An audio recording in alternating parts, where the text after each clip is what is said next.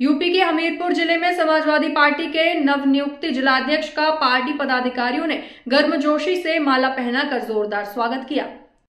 नवनियुक्त जिलाध्यक्ष ने पार्टी कार्यकर्ताओं की मासिक बैठक लेकर निकाय चुनाव में तेज़ी से जुटकर ज़िले की निकाय की सातों सीटों को जीतने का दावा किया।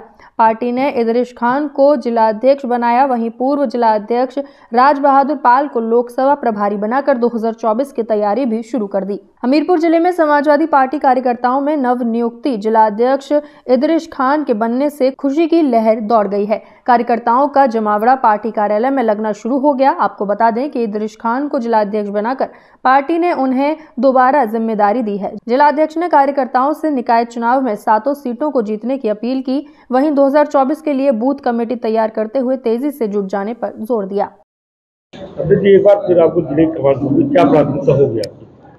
देखिए समाजवादी पार्टी ज़मीन में काम करने वाली पार्टी है। और सबसे पहला हमारा लक्ष्य है कि पूरी ताकत के साथ, हमीरपुर जनपद की सातों सीटों पर निकाय चुनाव, समाजवादी पार्टी दमखम से लड़ेगी, कार्यकर्ता तैयार है पूरी तरह से।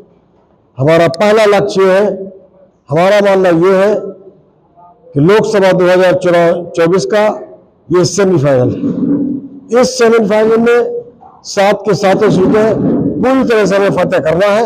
हमारी पूरी तरह कंप्लीट तैयारी है। हमारी पार्टी के सम्मानित नेतागण, कार्यकर्तागण, पदाधिकारीगण पूरी तरह से योजना तैयार है। हम लोग इस पर लड़ेंगे और निश्चित जीतेंगे।